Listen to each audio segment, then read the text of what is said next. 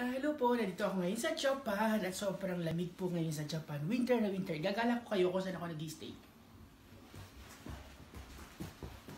So, typical talaga sa Japanese na the hotel is ito, chinelas ka, yung sapatos mo iiwan mo doon sa labas. Kaya pagka ang butas ang medyas mo, yeah, hey, huwag kang pupunta sa Japan na butas ang medyas. Mas magandang wala na lang medyas. Ako. Okay, yeah. Tapos,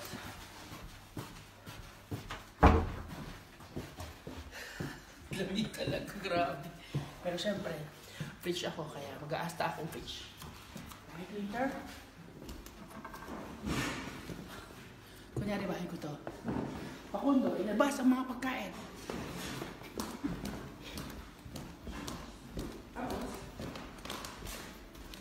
Of course. Ayoko kasi malamigan kasi nga winter. Kaya pinili kong accommodation. Eh, ako. Pwede na ba? Pwede na ba siya? Sarap. mamaya nga may inihanda nga akong barbecue, marshmallow, hotdog. Kasi nga mamaya mag-iiho-iho kami dito. Lang social. Habang nagbabarbeque, double purpose na. Pagkatapos ito, lalagyan mo sa puto at bibingka para double purpose din. O, ito. Sarap, lamig. Grabe. At alam niyo ba, itong bahay na ito, yung, yung mula isang daang taon na. At kumakalusos kanina. anyway. At ngayon, tuturuan ko pa rin kayo paano talaga maligo sa typical onsen o sa typical bathroom ng isang Japanese. Pasaway ko kayo. Alam niyo ba to? Hindi ito lalagyan ng damit. Lalagyan ito ng sapatos. Bawal nga kasi pumasok sa kuwan. Kaya yung sapatos ko namin nandito. Kaya watch out lang kayo. Baka sa may ibang taga-Pilipinas, ang sapatos pitikin. Ayan, kinabahan ako. Akala ko na walang sapatos ko. Ay, ultra boss pa naman. Di ba? Ayan. Siguro mga taga-Pilipinas ko. Ha? Sarap. O, ayan siya. Mm, yan. At ang maganda lang, gusto ko talagang nakawin na ito. Kasi panglagay mo sa sapatos pang ganun. Minsan pwede rin naman dito sa kanya. Pang kapot sa likod. pang toothbrush. Panglagay. Minsan pang chopstick. Tsaka minsan pag ang seller, eh, papalo. Ang daming purpose nito.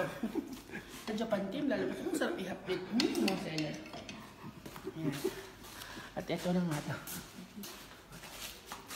TikTok.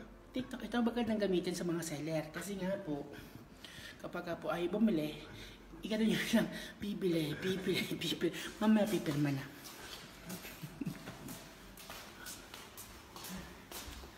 Excited ka namang maligo kasama ko. Excited kita, habulin mo ako.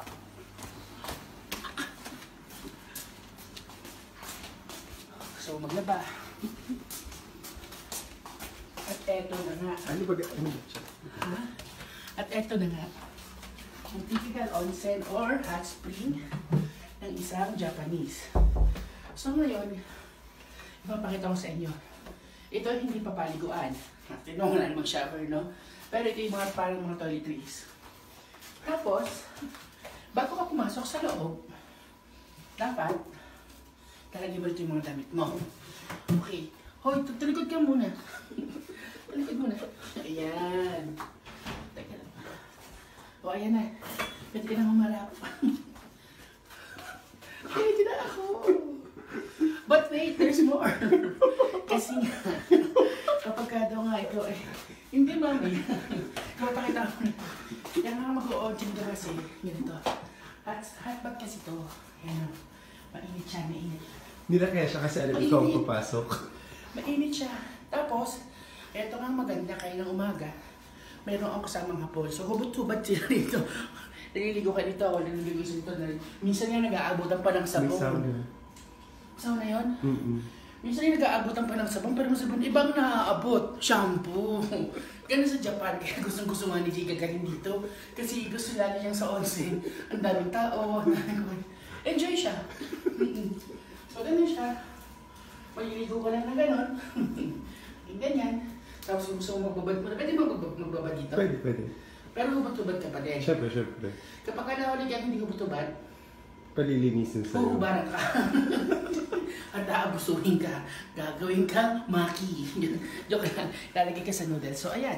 Ganyan po maliligaw ang isang typical na Japanese. But for the meantime, kailangan lang magbabad. Nanonood ka pa? Ha? Nanonood ka pa ba?